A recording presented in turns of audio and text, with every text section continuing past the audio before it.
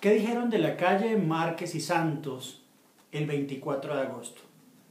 De la calle nos dijo, llegamos a la meta, al fin del conflicto armado, la mejor forma de acabar la guerra es hablar de la paz, abrir posibilidades para la transferencia de la, a la sociedad colombiana de un proceso incluyente donde nadie tema por su integridad con base en la reconciliación y vendrán discusiones, ajustes, reconstrucción desde el respeto, desprendimiento, unidad, disposición para reconocer derechos a todos y nuevas oportunidades de vida.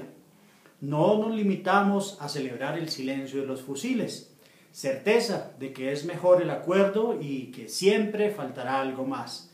El momento para darle oportunidades a la paz porque no se cambiaron fusiles por convicciones. Los colombianos decidirán si se acertó o no para una política limpia, abierta e incluyente, lucha contra la corrupción en la política local y un acuerdo sobre todo lo posible.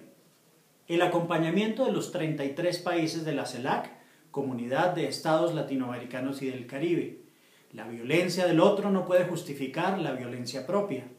El Estado es el único titular de la fuerza y no se debe alentar la justicia privada. La justicia transicional es justicia, no la prima pobre de la justicia, que bien fregada ya está. El acuerdo del fin del conflicto es de los colombianos. Iván Márquez nos dijo, he ganado la más hermosa de las batallas, la de la paz. Tierra, democracia, víctimas, políticas sin armas, veeduría internacional, fueron los puntos de su discurso. Fue el único, tal vez, en referirse al constituyente primario que ratificará esta norma pétrea de los acuerdos. Eso sí me preocupa bastante. En segundo lugar, comienza el debate de las ideas. ¿A qué costo comienza ese debate de las ideas? El acuerdo es punto de partida bajo la bandera de la inclusión. ¿Qué tipo de inclusión? Vamos a ver, porque realmente han querido introducir en los acuerdos, al igual de la calle, esa ideología de género que no es tan adecuada y no fue lo que le prometió el presidente, entre otras al pueblo colombiano ni a la conferencia episcopal.